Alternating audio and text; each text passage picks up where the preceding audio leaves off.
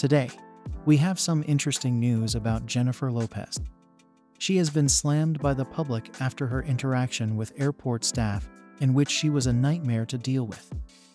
Let's get into the specifics. Jennifer Lopez was described as a nightmare person by a woman who claimed to have worked for a private airport on Long Island, New York, during her many visits. A user posted a number of messages on X, the platform that was once known as Twitter, claiming to have so many stories about J-Lo being a rude and nasty person. Even though the pop star was only taking a 20-minute flight, her first story described the standing catering order that was expected to be there whenever she arrived. That included a KFC bucket. She was flying out in the AM before they opened, and her team freaked out that we didn't have it. I was demanded to go get some and was given some cash by her team.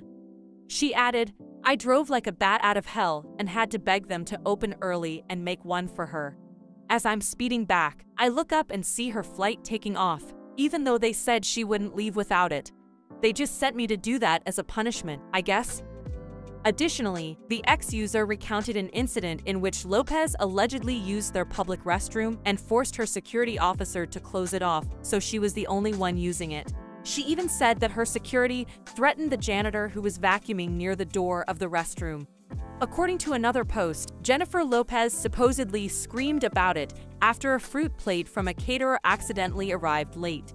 A line tech had to scramble to a local grocery store and buy fruit. This guy is covered in literal jet fuel with his walkie going off about flights landing and stuff while he's scrambling to grab random fruit, etc.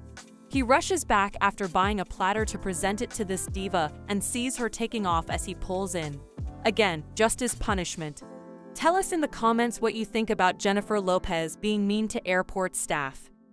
Don't forget to smash the like button and subscribe to the channel for more updates on what's happening with your favorite stars.